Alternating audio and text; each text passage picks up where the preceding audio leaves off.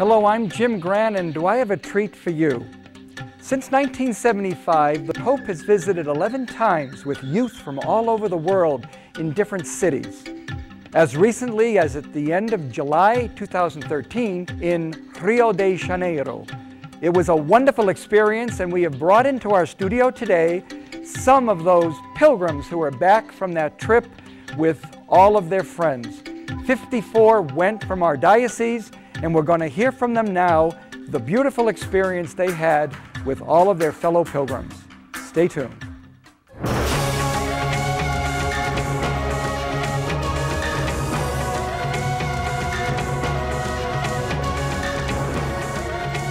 Hello, it's my privilege to share with you the excitement of young pilgrims just back from Rio de Janeiro, where they spent two weeks spending time with each other and with two million friends from all across the world. The ones who are here today to share with us their faith and their experience would be Juan Angel Bustos Ramirez, Evelyn Hernandez, Ricky Salinas, Carolina Alejandre, Gerardo Madrigal, and Melody Montoya. They come from different parishes in our diocese, from different schools, and they have all met at this wonderful experience of faith in Brazil. I'd like to give them a chance to begin, if they could, with an opening thought about an opening reflection, something that is in your heart that is the basis of what the experience was in Rio. Would any of you like to begin sharing what that was like? It was an awesome experience, something that you have to be there to experience. You have to give up certain things to gain others, um, but it's a once in a life opportunity. And if you, if you were to take it, you know how great it was to be with other people. I don't think there's any event like this, this one, uh, World Youth Day. The crowd that was at, um, that was at uh, Copacabana, like, it's bigger than the World Cup or the crowd that's going to be at the Olympics, I think. Because it's just amazing to see all these countries from all around the world united under Christ, despite their differences. That's the beauty of World Youth Day. Once you're there, you can completely see what the Catholic Church really is. The universality, the what universal church, that's what it is. The universal church. All those flags, all those people, um, just united in fellowship and gathering together to celebrate the Eucharist and be with our Holy Father. It's just an awesome experience. Uh, I have to, like, going off of what they said, it's definitely a once in a lifetime opportunity. And even though you're only visiting one country, the whole world is there. And so I mean, you see everything. So it's definitely a once in a lifetime opportunity, unless you get to go to it more than once. So. And that would bring up Melody. Yes. Um, this is my third World Youth Day, and it's very nice um, having the opportunity to share my time and my love of the Catholic faith with um, young adults. And it's, it's just very nice to see them um, just engaged in, in their faith and share their Eucharist with other um, individuals, Brazilians, um, and other people from around the world. It's a pleasure, actually. Now, one word we want to put on the table and have you identify with it is that you're pilgrims. You are not just adventurers, you're not just young kids on a spring break. What was that experience like regarding pilgrimage? For one thing, you know, I mean, there were so many Catholics there, and we were all there as pilgrims. But even people that weren't Catholic or even pilgrims, um, one example is when we were, everyone was just so welcoming, and even those who weren't um, Catholic were welcoming. Like one example is when we were in Sao Paulo, Evan and I got stuck on a, with our group, we got stuck on a train that broke down because it was so full of pilgrims.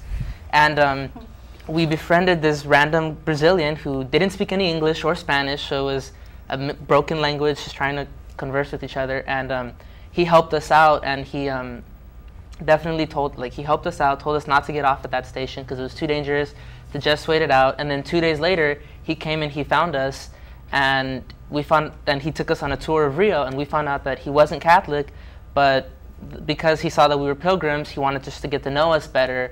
So he came, he found us at the parish we were staying at in Rio, and he gave us a tour. So I think that was one thing, just uh, how open and welcoming everyone was, whether they were Catholic or not. One thing that I thought was interesting is I, I honestly believe like every every human reflects one specific, um, you know, face of God. You know what I mean? They they are a unique creation of God, and, and no other person will be able to reflect love and light the way that they do.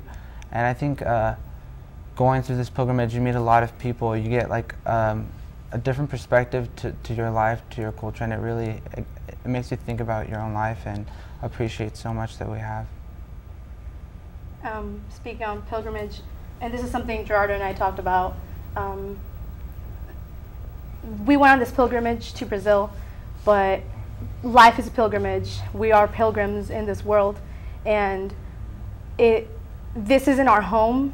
You know, we we belong somewhere else. This is not where I belong. It's we our ultimate home is heaven. That's where we belong. And so this entire our entire life is a pilgrimage. So going on this this specific pilgrimage to World Youth Day to Brazil just it totally hits you you know like this isn't where you belong you're meant for something greater I wonder if Gerardo or um, Melody, who will be replaced in our next panel, have any final thought they'd like to share before we take our break about the experience for them and for the others in their group. Um, for my group, I, I know um, many of my the individuals that came from our parish. It was their first time traveling out of the Reedley area, and for them, they um, they experienced the best, the most amazing opportunity in their life. I could tell by the tears in their eyes, by the way they were interacting with others. They were very excited, and I'm very happy that I was able to lead um, a group from our small community and help them um, see beyond Reedley in the Central Valley and experience their Catholic faith with others from around the world. So I'm, I, I love, this is my third um, World Youth Day, and I'm very honored and privileged. And um, actually, Juan An- Angel's mom asked me, um, Are you going to go to the next World Youth Day? And I said, Yes, God willing, I will be going and taking a group of pilgrims. And that'll be to Krakow. Yes. Awesome. Gerardo, um, tell us a little bit about you and how you decided to go on pilgrimage and what difference it's going to make in your life. Well, this is actually my second World Youth Day. I had the opportunity to go to Madrid uh, last time there was a World Youth Day event. And um, I can definitely say there's been some differences. I on, this is my first World Youth Day on a beach, and that was kind of a different experience. we all kind of had to cope with the weather situation, how there was a, a change from where the, the vigil was going to be. And um, I guess we all took it very well. I mean, because, you know, you, as a pilgrim, you kind of just have to take things as they come, you know. You really would like things to be different, but it's just a great opportunity for growth spiritually and, you know, as a human being. I really enjoyed my time. And, you know, the fellowship part, um, we, I got to know a lot of people from this diocese, and I think that's important for there to be unity within, you know, the diocese. Do you have one hope based on your experience that you'd like to share, um, any one of you, about what you learned that you could like to translate into a positive action? Because the Pope, if anything, called for action. Tres palabras.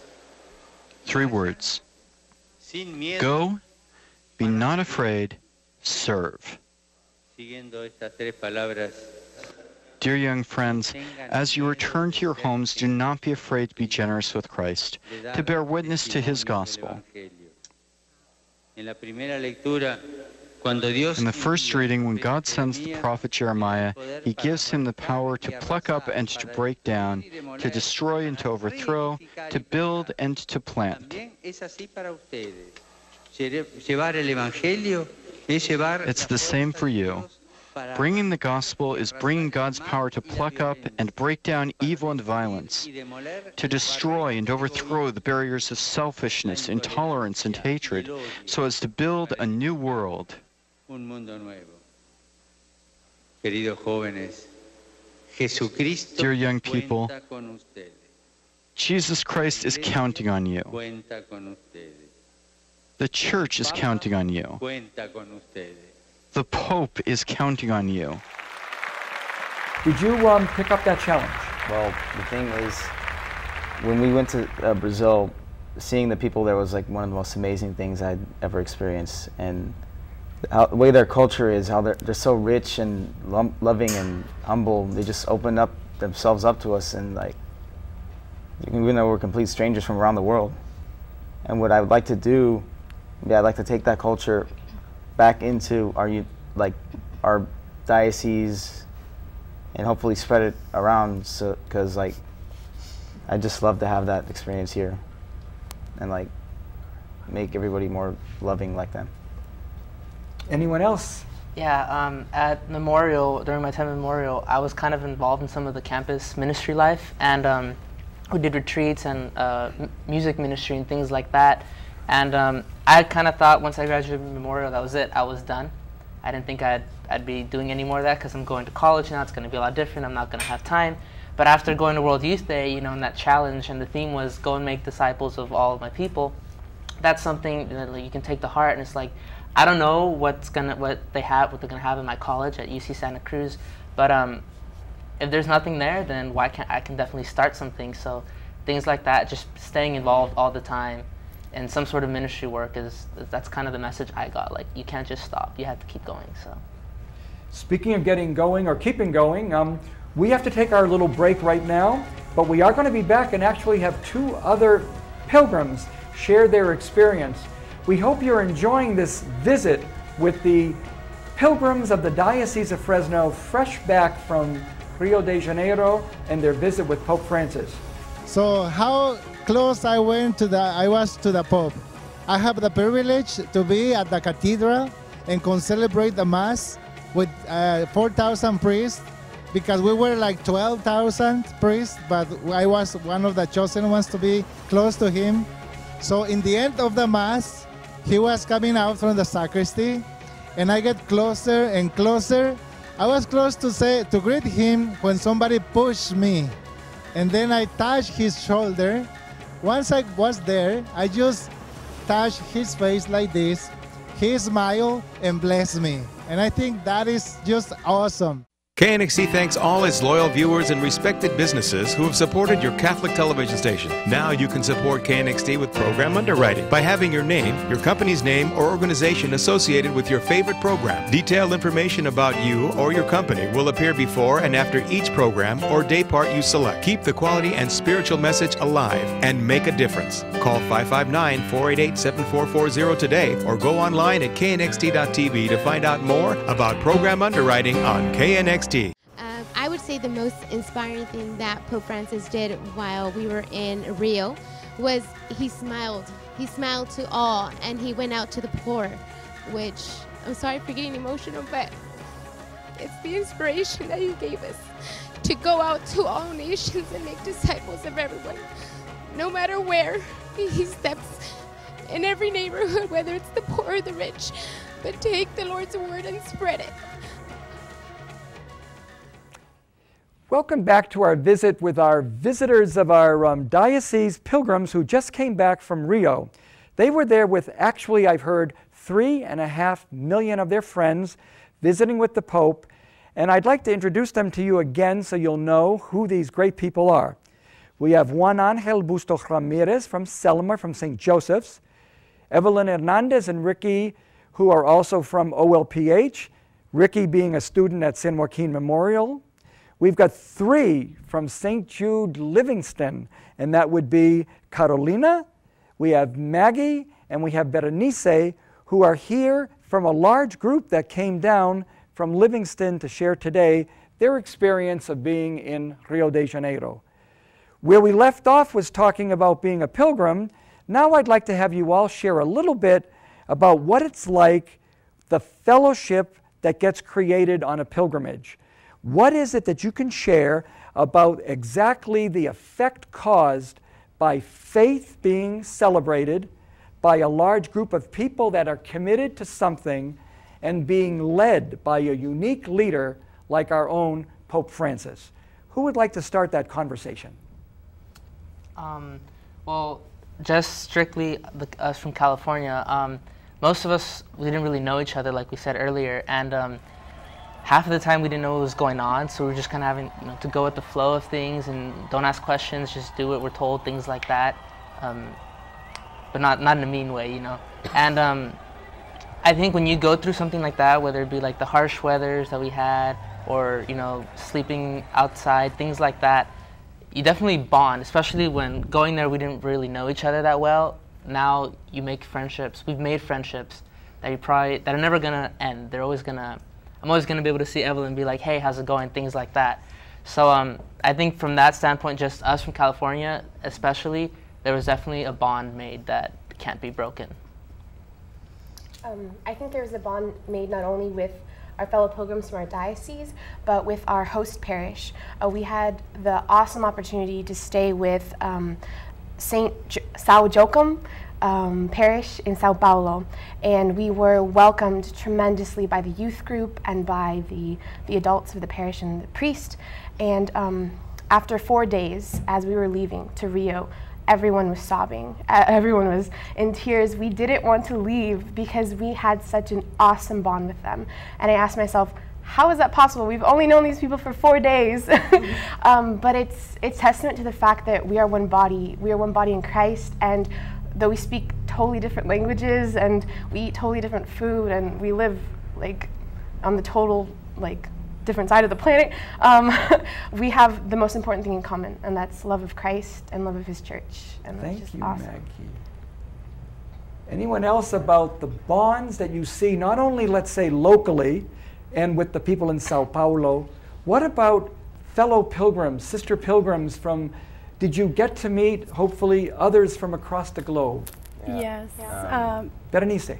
well, on the train on our way back home in Rio, um, it's it was a long ride, like a 30 minute drive from there to from the metro to back home where we were staying. Um, we got to meet me and um, another friend that's not here right now. Got to meet um, like three girls that were from Argentina, and one of them was actually um, confirmed by the Pope, and that was super cool for me. I was like, we we're friends now on Facebook, like he said. You become friends, and like I feel like much more connected, like through her to the Pope because you know someone who knew him and got confirmed by him. It was super awesome. You get to meet a lot of new people. Okay, speaking of fellowship, let's say fellowship with the Pope. Uh, who felt that they did either get close enough or got a real idea of this Pope physically, intimately? Who had the best connection with the Pope? Well, uh, I remember when I was um, when I was standing like four, ten, five feet away from him. I really felt like I was standing three hours straight, waiting for him in the Pope mobile to pass by, and even though he was surrounded by security and like his Pope mobile was going really fast, and his back was turned towards me, like you could still feel the holiness eman- emanating from him. Like he's just an amazing person that like even non-Catholics adore. Like you just feel his presence, even when he wasn't, he hadn't even landed in Copacabana. You just feel he's in Brazil. Like that's an insane thing. It's amazing. Um, the first night that he arrived at Copacabana, I got there early with my group, and we waited in the beach. We got there like at 10 in the morning. He wasn't supposed to show up till 7 p.m., so we waited a long time. And it was raining, and it was really crowded. And even though we got there early, we were still about 100 yards away from where he was. And I'd heard him speak before on TV and things like that, but this was the first time where he was there, where I could see him, even though he was tiny, I could see him there, and I could also see him on the screen if I wanted to. And I remember when he finally arrived and he started speaking, one of the first things he said, well, he was thanking us for, for bearing through the weather and things like that. And he said something, it was in Spanish or Portuguese or a mix of the two that he said it. Basically, he said, by, by being here, you guys have proven that the youth the faith of the youth is stronger than any weather. And everyone went crazy because it had been it had been cold, it had been raining, and at that moment, like when I heard that, it was just like an overwhelming sensation. Like he's our pope. Like it was such um, just he sounded like I know everyone says he's humble, just the way he sounded, you couldn't help but connect and feel like he's one of us. So it was definitely as soon as I heard him say that, that was definitely the moment for me where I was like, wow. Yeah, going off of what everyone's saying, even though uh, the first time I wasn't so close because I was with him also. Uh, the way that they introduce him, it's like he doesn't come with gold, he doesn't come with silver. It, he comes with all the love to share, and he comes to for us for one reason. And it's amazing to see that everyone gathered just for one reason, which is uh, to become closer in the Catholic faith and all the youth going um, it's just great to have that uh, connection because I saw so much charisma on him. It's his smile. It was just just to see him smile like I it, it overwhelmed me. You know, it, it was so much joy to just see him. It was such a happy experience. So glad, Evelyn. Now, this happened in a particular country. It's Brazil. It's one of the great world powers. It might be the fifth largest economy in the planet. Tell us what it was like the country, the food, the customs, the families, the community, especially the people. What was Brazil for you? Uh, I don't think words can even begin to express how amazing the people there are. They're well, how we stayed in La Parroquia de San Joaquim in uh, Cambuci, Sao Paulo. It was just amazing. They hadn't even known us, like, and they just op- welcomed us with open arms.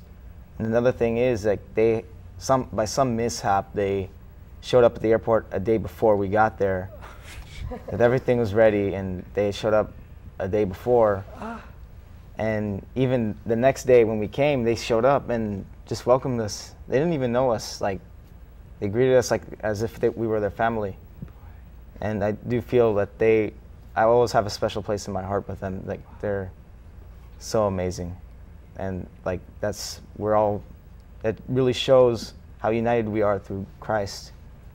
It's just amazing. Sorry, sorry. Um, one of the greatest things I think I learned um, during this World Youth Day pilgrimage was how to love. The people of Brazil really know how to love, and I don't think it's accident that our our symbol is a heart, our our official logo, because um, never in my life have I felt more welcomed, more loved um, than than being greeted at the airport by con- complete strangers, and then taking into their parish and my host family's home. They're so loving, and they're they know how to be hospitable. They know how to be welcoming, like Christ would be. Um, and they like to eat a lot. Brazilians eat a lot. Um, the food is very similar to Mexican food. Um, there's lots of beans and rice, but it's still quite different. Um, every day they just they would always feed us like very well. Like Yeah. Um, Sorry. that's like Um, one of the things, like I think a lot of people, I, I know I kind of felt this way. I was worried, you know, going to Brazil for the first time. Ooh, what are, they're going to be completely different than me. I'm not going to like have anything in common with them. And really, the only difference was just the language. And even that, like, was easy to overcome after a while. But like, they, they were just like us, you know. Um, they liked the same things we liked. Um, we could randomly start singing Taylor Swift songs, and they could join right in, Oh even though it's like American music, things Yeah, like that everything was the same. They liked soccer, they liked this and that. Um, they all had Facebooky, the way they call it over there, things like that. So um, I swear I added like 50, 60 friends Yeah. from there. So I mean, they're just like us, and it was it was r- really awesome to to get to meet them. What about playing FIFA with them? Yeah, um, my host family, I had a my, my host brother. He actually invited me one night up to his room, and he had FIFA, the, the soccer video game, and it was in Portuguese, and I didn't understand what it was saying, but it was FIFA, and I know how to play FIFA. So we played, you know, a few games up till three in the morning, and uh, he ended up beating me. He had the winning record, but I did get a couple wins in there. So I mean, He's Brazilian, they're good. yeah. yeah. like- Anything else about the experience? Um, you all say that Sao Paulo was really even more, in a sense, impressive than Rio, or what? It was just a community. Like in big events, you feel the love, you feel, you know, but you get to meet these people for a few seconds on the train, or um, sometimes you get lost, don't know where to go, and these random people just guide you through it, you know, because they're they're locals, you know. Um, but in in Sao Paulo, it was just different because of the community. We stayed with them the whole time, and it was just a lot of bonding that happened really fast. Um, we just felt like they're our brothers and sisters in Christ, and there was no doubt about that. I think that was a difference. But in Rio, there was a lot of fellowship as well. Um, one story, Carolina and I and our group, we went to the vocation fair Mhm. in Rio and we didn't know how to get there, but we just hopped on the metro and was praying, we're praying that we would get there. and um, some random cariocas, like the native Rio people, um, that sounds so funny, but um, they, they asked us where we were going and we told them and they're like, okay, let us show you. And like they literally it was raining and windy and everything and they're like here hold on like hold on Yeah, to our we're shoulders holding our hands so we wouldn't get lost because there's millions of people and they showed us and um, i actually brought um, a sample one of them gave me a little bottle of holy water um, and it was just awesome we took a picture with him he showed us like what metro to get back home and Mhm. all that kind of stuff and everyone's just so welcoming and loving and I have one last question, but may take a few minutes to answer. We've got like four minutes. I'd like you to share from the depths of your heart the most important thing you either saw or heard or experienced, the most important, and how that will change your life. I think Carolina could begin because her life is going to change on Monday with a mission. So tell us about that, and then others can chip in. Um, before World Youth Day, I, like Gerardo had said earlier, we had the opportunity to go to World Youth Day Madrid, and there I think I learned to embrace Catholic faith.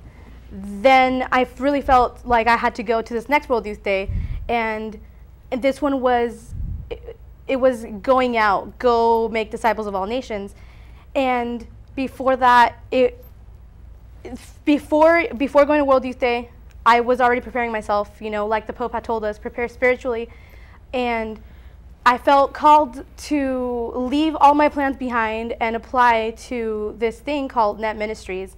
Net standing for National Evangelization Teams, and um, it was it was this strong drive to apply.